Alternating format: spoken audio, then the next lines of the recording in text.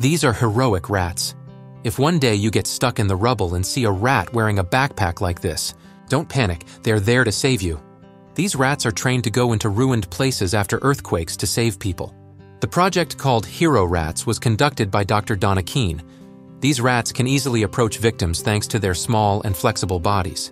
The tiny backpack holds a microphone, video gear, and a location tracker.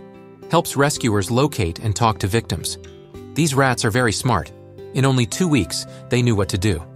170 rats are being trained for different roles such as landmine detection, tuberculosis detection, and earthquake rescue.